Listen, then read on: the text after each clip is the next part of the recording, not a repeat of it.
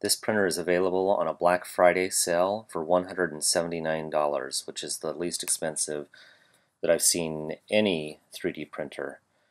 Uh, I have a little bit of negativity toward the printer in this review, but after using it for several months, I'm very happy with it, and it's my daily 3D printer. So we'll go ahead and uh, open it up and see what's inside. Looks like we've got um, some accessories here. This is the power adapter. Okay, another box with accessories, power cord, USB cable, a uh, scraper tool to remove prints from the print bed, Allen key, and a 256 megabyte micro SD card, and a piece of uh, folded steel. And I don't know what this is for yet, but it looks really nice actually. I'm kind of impressed that this is $200.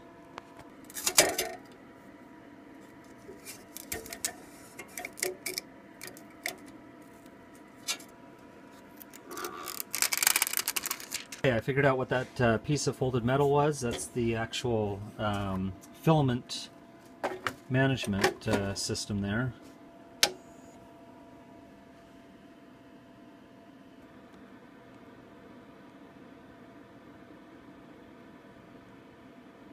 Okay, so it's not a touch screen. You have to you have to use the jog dial. The z-axis is not quite right on this. We're gonna go ahead and um, perform the home maneuver.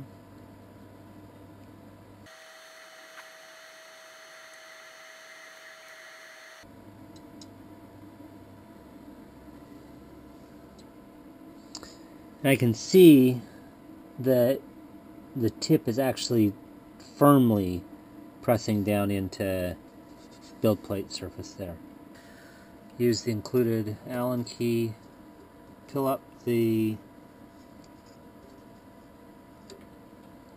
paper there a little bit.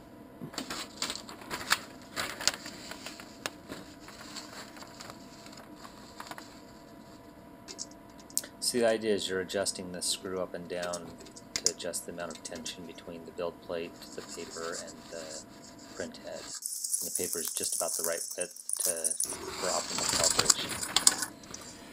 Okay, so it may not be the flattest of build plates.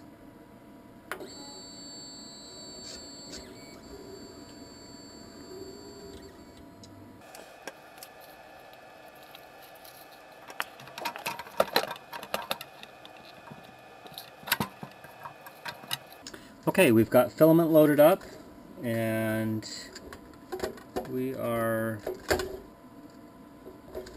just about ready to do a test print here. Load up the, actually put the filament into the extruder. One of the things that they recommend is that you cut your filament on an angle like that, forming a point. I think that's so that uh, it's easier to thread in rather than pushing at it with a blunt uh, end.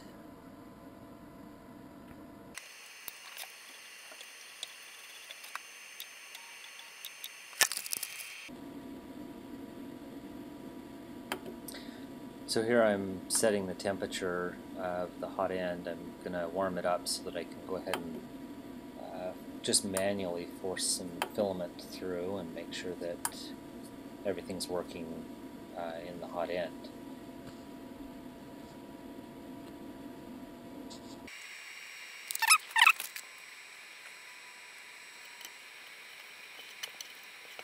Alright, we're at 180. Oh, what's that?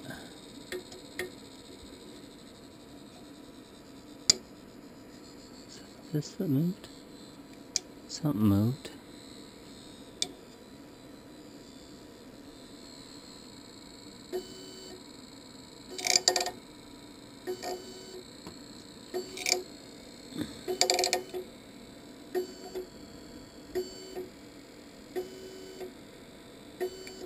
Is going on here with this?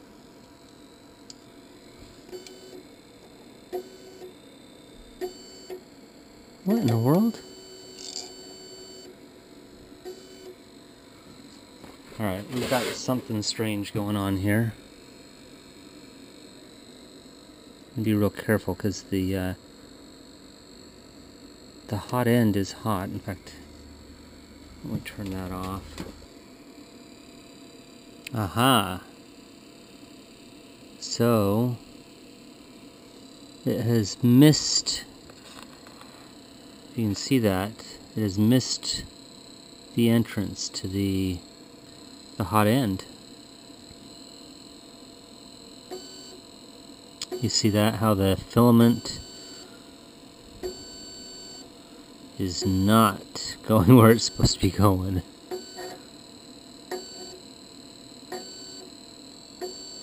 Try bringing it down again and see if we...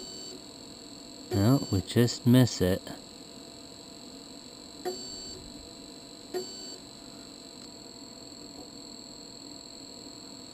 I wonder why that gap is there. Seems like, um... Seems like a larger gap than what should be there. Is it possible that the hot end should actually be up higher? Is that why I had to lower my bed all around. I've pushed that down through. Between the time that I recorded the video and now that I'm editing the video, I've had a couple months to use the printer, and my kids have gotten a lot of use out of it as well. One of my biggest complaints is the gap on the hot end between the brass fitting at the end of the Bowden cable and the entrance at the top of the nozzle. Filament will get caught on the edge of the nozzle entrance pretty regularly, so you have to take the filament out and cut it at a different angle, or a different angle and another angle and another angle. And sometimes it's really, really stubborn, and you have to take the fan off and guide it through with a pair of tweezers or a fork or something. I may try to find a small tube that can fit in there to reduce the gap. Additionally, the limit switch on the z-axis is very inaccurate. Three out of five times that I home the axis, it'll be slightly different from the previous homing. This leads to a lot of bed leveling. Hopefully Monoprice has fixed this in more recent batches. Aside from those two big complaints, we really do like the printer. It has a build quality that surpasses what I would expect at the price point. It's very easy to use. It's really quite accurate other than the z-axis limit switch issue and it produces really great prints. Uh, you can probably find a link in the video description below where you can buy your own, which I definitely recommend you should do. Additionally, for some uh, um, support, you can find very helpful user groups on both uh, Reddit and Facebook. There's lots of people that have this printer now and that are willing to share their experiences and tips and tricks on how to get the best prints, how to make calibration easier, and resolve any issues you might have.